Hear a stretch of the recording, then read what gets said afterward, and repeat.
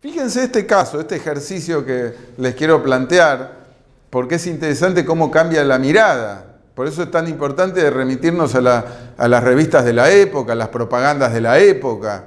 ¿no? que como vos me preguntaste que ahora tenemos las revistas de arquitectura escañadas en la página de la Facultad de Arquitectura para ver. Y fíjense, esta revista de arquitectura nos muestra un juego de imágenes que yo siempre uso para explicar cómo cambia la mirada en esta época. Este edificio a ustedes, ¿qué les parece? ¿A qué época les parece que corresponde? Italianizante, arquitectura francesada. Arquitectura ecléctica, mezcla, decís afrancesada, italiana, parece un palazzo italiano, pero también tiene el remate a la mansarda francés, una mezcla. Era una tienda departamental muy importante, hasta en mi infancia la llegué a conocer, que es la Casa Tou, Casa Tou. Es una tienda departamental para vender productos. ¿Es eficiente exhibir productos comerciales en un edificio de estas características o no? ¿Por qué no? Si decimos que no.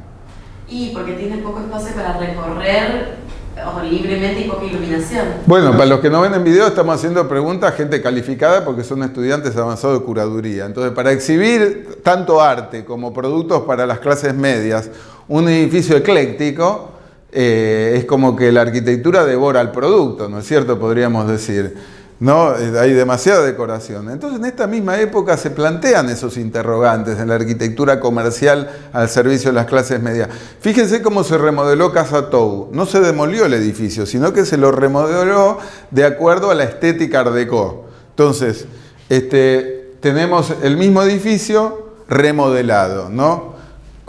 con, mayor, pues seguramente se tiraron abajo eh, paredes intermedias, mayor espacio, mayor iluminación, es lo que plantea el Art Deco. Simplificación de elementos decorativos, no desaparecen las mansardas, pero se geometrizan, ¿no es cierto? Que es un momento de transición hacia la muerte total de la decoración que va a ser el racionalismo, pero acá tenemos un coronamiento geometrizado Muchos recuerdan las crestas de los templos mayas o aztecas, que se, funden también con el Art Deco en gran medida. Entonces, de, algún modo, esta es la casa, nueva casa Tou. Esta es la antigua.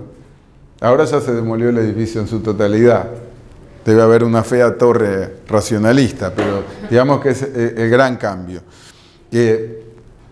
ustedes lo van a ver en las confiterías, en escenografías del espacio, del tiempo libre de las clases medias, lo van a ver también. Clubes, Club Atlético San Lorenzo, me voy acordando ahora, Ardeco, también es una arquitectura del tiempo libre, ¿no?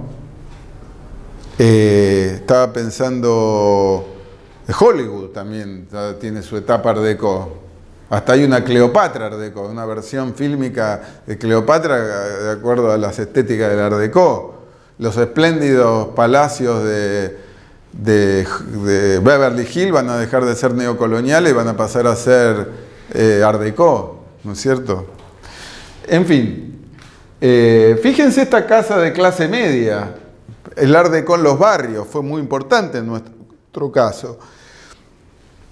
El arquitecto Jorge Ramos, que fue un notable profesor e investigador de la Facultad de Arquitectura, tiene un fascículo de Suma, de la revista Suma, dedicado al Art Deco, que lo van a encontrar en bibliotecas. Jorge Ramos, después quien más investigó el Art Deco, Rafael Iglesia, Felito, ¿no? en la Facultad de Arquitectura, que le dirige hace muchos años la maestría en Historia de la Arquitectura. El Art Deco tiene mucha investigación. Bueno, les quería señalar el Art Deco en los barrios, como dice Jorge Ramos. Eh, las clases medias que no podían permitirse vivir en una casa francesada porque es más caro decorar al estilo ecléctico, van a, recibir con, con, agrado estas formas más esquemáticas y más baratas de decorar. ¿No es cierto? Yo recuerdo una tía que vivía en la avenida Gaona en un departamento Art Deco, que era vivido como una cosa medio glamorosa para las clases medias bajas o medias en ascenso, el Art Deco. Y en las localidades del interior, vos hablabas de Mendoza, pero muchas localidades de la Pampa Húmeda, el escribano, el médico del pueblo, va a tener su casa Art Deco. Y si hablamos de Buenos Aires, que antes dijimos que el patrimonio modernista se extiende de la avenida Callao para afuera, el Art Deco se va a extender más lejos todavía, porque ahora ya estamos en la década del 20 y 30, de la avenida Pueyrredón o Jujuy para afuera vas a encontrar ejemplos de Art Deco. En Caballito, en Flores, en Villaluro, bueno, en Palermo, por supuesto, ¿no es cierto? Cerca de Avenida Escalabrini a media cuadra. Eh, muy bien, vos hablás, en la, ustedes van a encontrar en Canin y Juncal la casa del escritor Arturo Cadevila. Yo la quiero mucho porque martes y jueves voy ahí a practicar yoga con un gran maestro mío que utiliza la casa de Arturo Cadevila, Art Deco, véanla, nosotros fuimos con alumnos de aquí, Art Deco, diseñada por Jaime Roca, un gran arquitecto de la provincia de Córdoba, de estilo Art Deco. Ojalá haya traído fotos, pero fíjense la decoración, los mármoles con formas geométricas, Mira qué bien, te acordaste de esa casa. Yo pensé que pasaba desapercibida, pero no. Fíjense la, carpintería, ¿no es cierto? Eh, con estos remates que siguen las formas piramidales propias de los templos mayas de América o del Sigurad mesopotámico. Pero ¿por qué decir Sigurad Style? Podríamos decir eh, Azteca Style, si se o estilo azteca. Como de hecho, por ejemplo, hay un museo en La Paz, Bolivia, de arqueología que es todo neo-tiahuanaquense. Neo Hay otro estilo neo-teotihuacano, ¿no? Y neo-azteca. Ángel Guido proyectó un palacio neo-azteca. Bueno, que decimos que el Art Deco en arquitectura también se da a través de la obra de José Fioravanti, para algunos, ¿no? Criterio que puede ser discutido.